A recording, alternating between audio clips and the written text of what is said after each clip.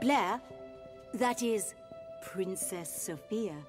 Is there anything you would like to say to your new subjects?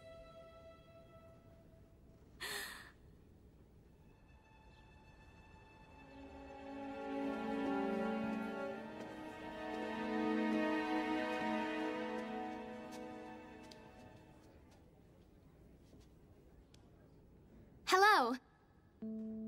I'm just a regular girl. But I think Headmistress Privet is right when she says every girl has princess potential. It is an honor to be your princess.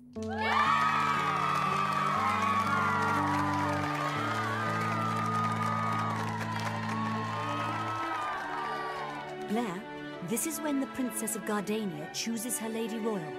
Now, I know it's an important decision, so if you need more time, then... I already know who I want. It would be an incredible privilege if my Lady Royal could be... Delancey.